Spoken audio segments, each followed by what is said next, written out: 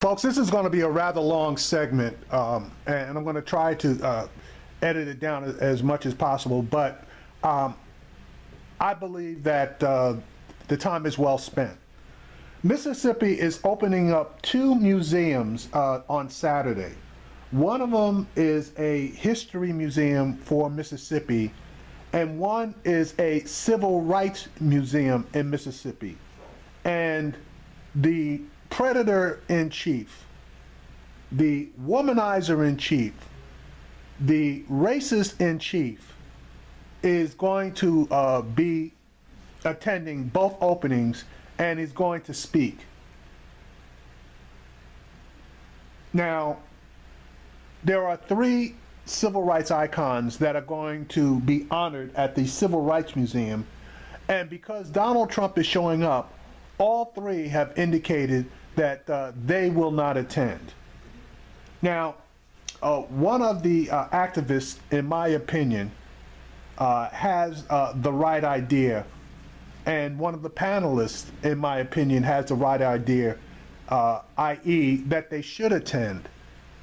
But I'm going to let her own words speak for her. Now, and again, this is going to be a bit long, so um, bear with me.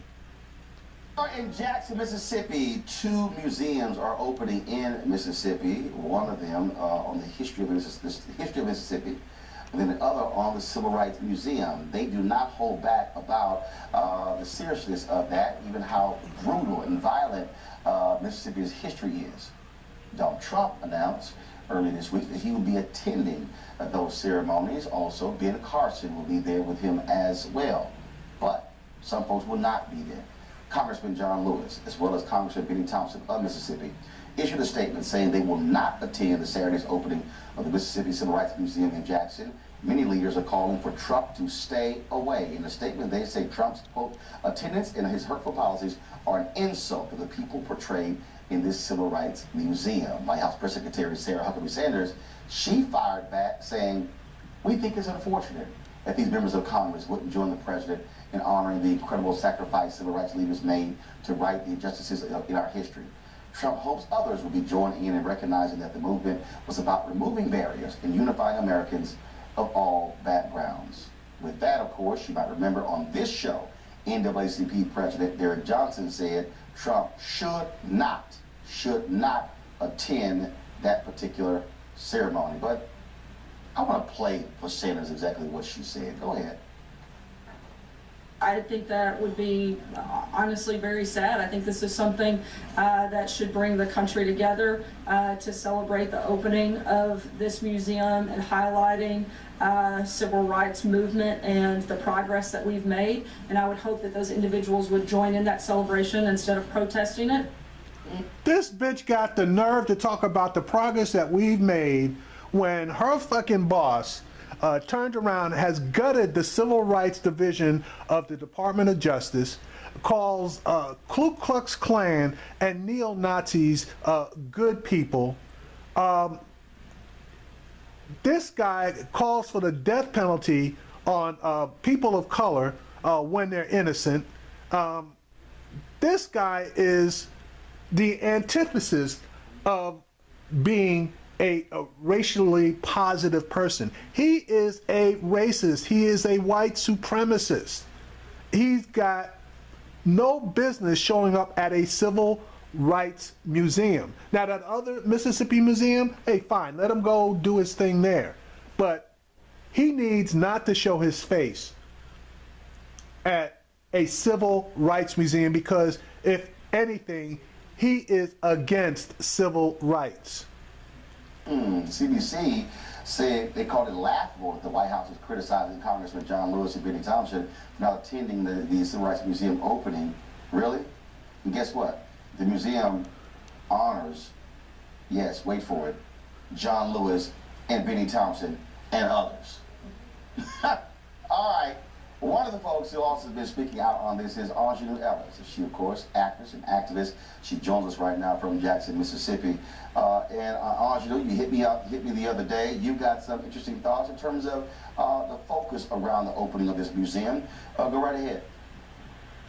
Hi, good morning. Good morning, Lord. How are you? Great. Good, good.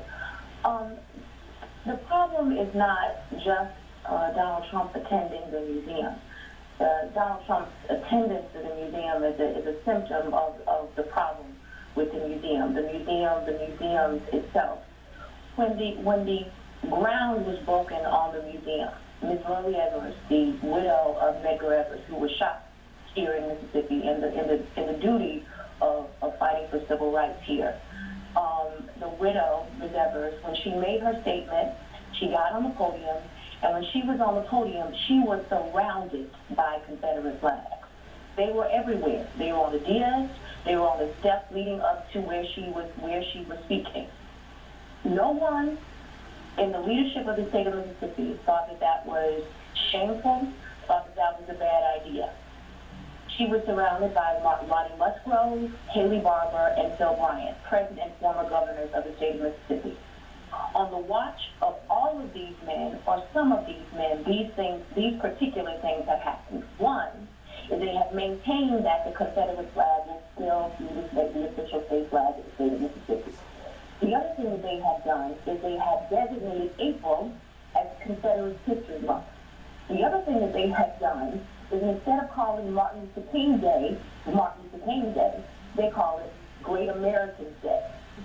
And then what they have done they have designated state holidays where people, really state workers, get the day off to, to honor Confederate generals and Confederate leaders.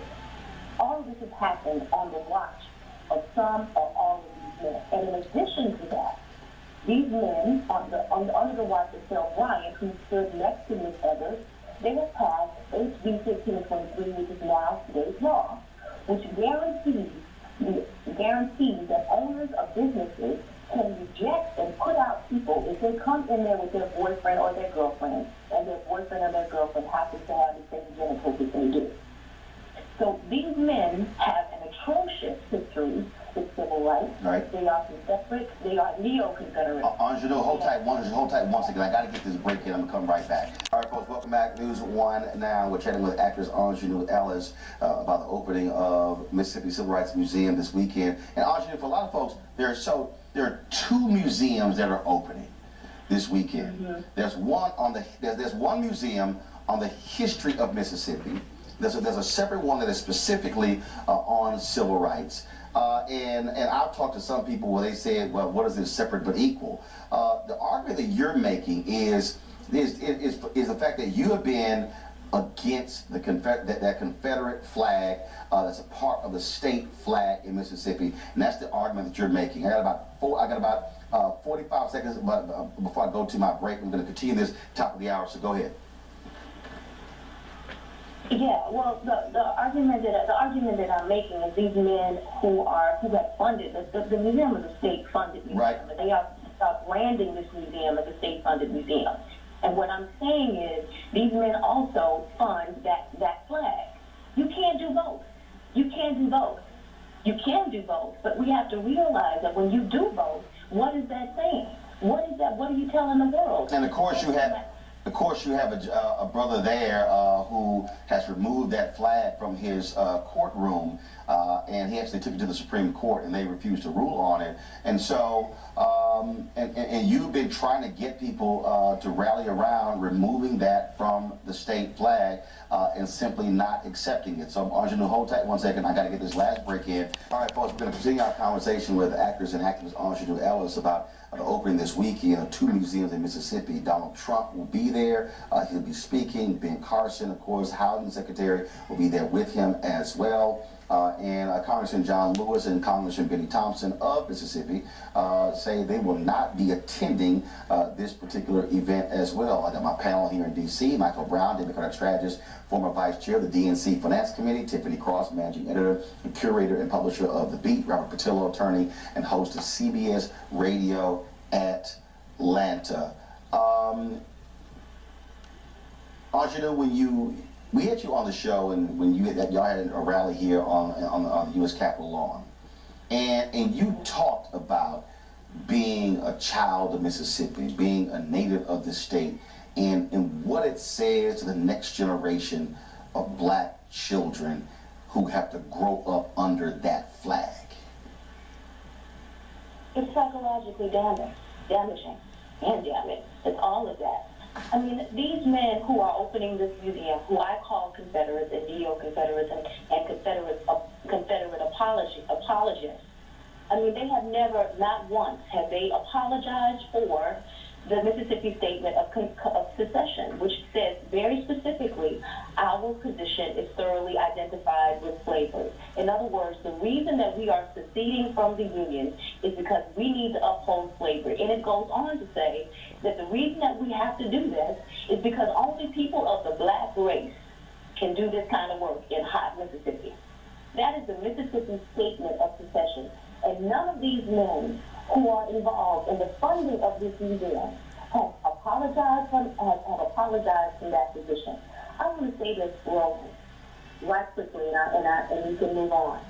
But I have been on your show a couple of times, mm-hmm. and thank you for allowing me to do that. I appreciate that because I think you have one of the most important news shows on television right now. What hurt my heart is that before I sat down on your show, proudly sat down on your show, I had to walk by a Confederate flag in order to get to you. Right. And what you're talking about is, folks who don't know, uh, we do this show in, uh, the, in we do the show uh, 400 North Capitol here in D.C. Uh, and in the lobby, uh, they have all of the flags of the states, as Mike said, except District of Columbia. And you're absolutely right. Uh, and I, and same thing, Aunjanue, I walked past that uh, and pissed off having to look at it. You're absolutely right. Yes. Yes. Every day that you go on your show, you have a platform that you have, not just to black folks, but to this country, you have to walk by an, iconography which says that your life is not worth your your chattel. The worth of your life is, is human chattel. You are subhuman. You're subhuman. And this is this I just want to make this point. The reason why you have to do that every day is not just because it's racist people in control of the leadership in Mississippi. It's because the United States government has turned a blind eye to the Confederacy since since its since its inception. They went to war for it, but they didn't clamp it down.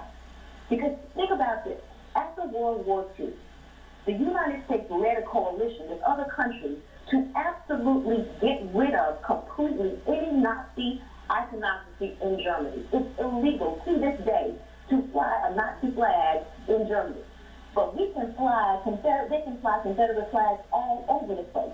It can be the official flag of a state in this country. And if nothing is said about it. You know why? Because this country hides behind the racist policies of the Confederacy to this day. I want to my panel here, and this and, thi- and this is what again for people who don't you know understand. Anjali, I want you to stay right there as well. Um, you know, they're having this big ceremony. You have your Civil Rights Museum.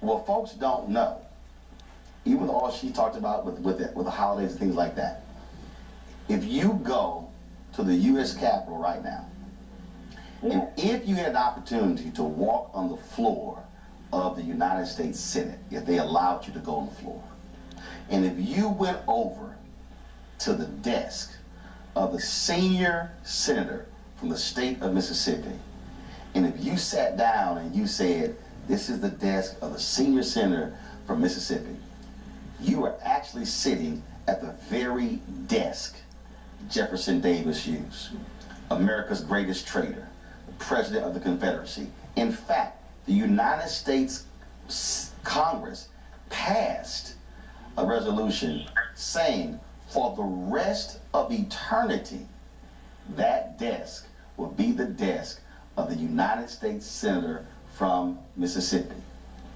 Well, I think the- the thing to remember is that the U.S. never actually saw the Confederacy as being an enemy. They saw them as being a rebel province. They saw them as bringing them back into the Union. That they had a disagreement as opposed to having a war. That's why in the South it's called the War of Southern of Northern Aggression. So uh, we have to not run from that history, but start telling our own story. One thing that we have in Atlanta that I appreciate No, no, no, no, no, no, not telling our own story, telling the story, story, yeah. from our perspective. Exactly. Because it's their story too. Go ahead. Exactly. In Atlanta, we have the uh, the National Civil Rights uh, Museum, but we also down the street, around the corner, off Auburn, on Sweet Auburn District, we have the Apex Museum, which is the black-owned civil rights museum that tells the story from a purely black perspective, tells the uh, tales of individuals who don't make the national news. They don't have all the big graphics and all the iconography, but what they do is have the true history. That's, what, that's why it's important that even if they do open the Civil Rights Museum uh, in Mississippi, to also have the museums to tell our own story. That's what I'm saying. But the civil, so, so just so folks to know, there are two, two museum openings tomorrow. There's the museum on the history of Mississippi, and there's one that is specifically on civil rights. Tiffany, go ahead. Well, I, I would never tell civil rights icon John Lewis how he should proceed, but I do think what would be more powerful is if John Lewis, Benny Thompson, and Cedric Richmond showed up to, to the event and told Donald Trump to his face uh, and spoke to the audience there and went through the list of things that this president has done and said, and not only his rhetoric, but his policies that he's instituted that are currently disenfranchising communities of color all over the country. And he can't leave. He has to stay there and feel uncomfortable and show the, all the things about the good people being on both sides and show that they're eroding the Department of uh, Civil Rights at the DOJ. I think that's a more gangster move that more people can rally around, and you can't even sit there on camera and listen to everything that you've done and get a firsthand testimony from black people who are being impacted by it. Or I'll be. I am 100% with her. Donald Trump's ass would be trapped there and he would have to sit there and listen without being able to get up and move, without totally embarrassing himself. That would be a powerful, powerful statement and powerful images because we would cut would love to cut to his face as he is being eviscerated for his racist policies and attitudes. honest with you, Michael, if it's me, um, uh, and you heard Aunjanue describe uh, when they had the groundbreaking and all different flags there. Again, I know how gangster I am. I would bring, I would have I would have 100 black sheets, and I would cover. If they had those flags on the pole, I'll put a black sheet over every single. No, I'm sorry, uh, one of those flags. And if I was on stage while Trump was speaking, I'll probably have a shirt on or a jacket that says, uh, uh, Angela, what's the shirt you've been wearing? Uh, uh, take down, what, what does it say about the flag? Um, I, um, I got a million of them. X to X, take it down. I got a, I got a whole lot of them. Right, I'll be, I'll be wearing one of those. Michael, your comment, then I'll go on to go ahead. Ms. Ellis, good morning, Michael Brown. Um, Hi. um, uh, what is it like down there related to the press about some of our leaders that are not going to attend this weekend? Are they getting support? Are people mad that they're not coming? How are people receiving that? I think you know. I think there are people who you know who who, who are very proud that this museum is happening, and and as they as they should be. I mean, they're honoring you know they're honoring our you know our civil rights veterans. They're honoring the people who gave their lives for this country, and so they are disappointed that that that they are not coming.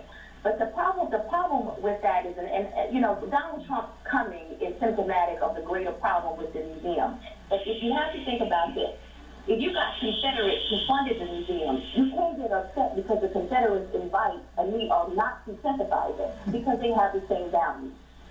So Donald Trump, in my mind, is a sideshow. But I want to I want to say this quickly about like if Donald Trump being there and being embarrassed because he has to sit there and listen to all the stuff that he's done and these other people, the, the, government, the government of the state of Mississippi has done. Here's the thing. For the last several years, Phil Bryant, Ronnie Musgrove, Haley Barbour, all of these men have been in conversation with Miss Evers and the civil rights, the families of the civil rights veterans, right?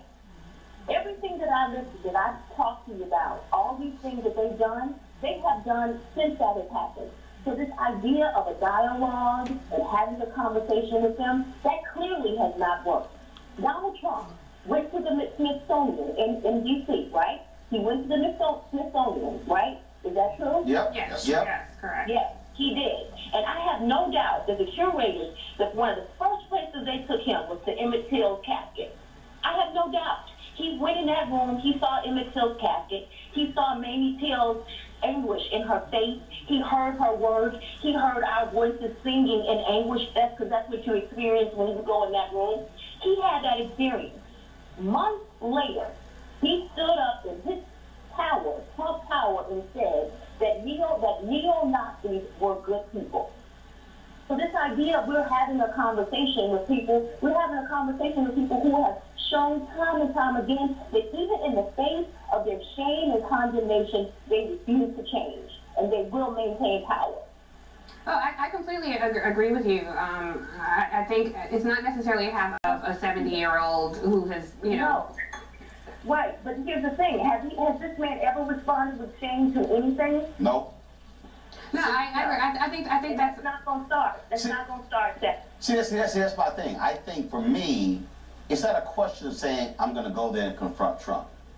No, I'm gonna go there and make a public demonstration knowing full well all the cameras are going to be there because I'm not doing it talking to him. right.